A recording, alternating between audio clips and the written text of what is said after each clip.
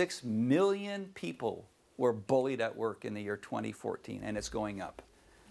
Um, six out of 10 of them will lose their jobs. Now, here's the consequences. Assume that I'm the department chair and you're my department, but there's 50 of us.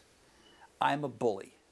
According to statistics, of that department of 50, I'm going to lose eight and a half of them, of you. You guys will leave. Now, the cost of being bullied in, a, in a, an organization is two times the annual salary.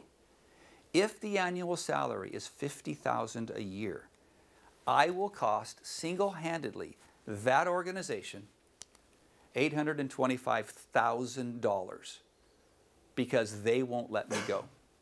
Because bullying always has friends. No one bullies alone in an organization. There will always be accomplices.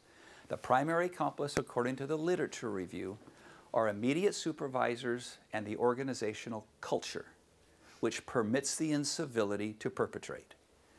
But how many people who just run a department of 50 can command a salary of $825,000 a year?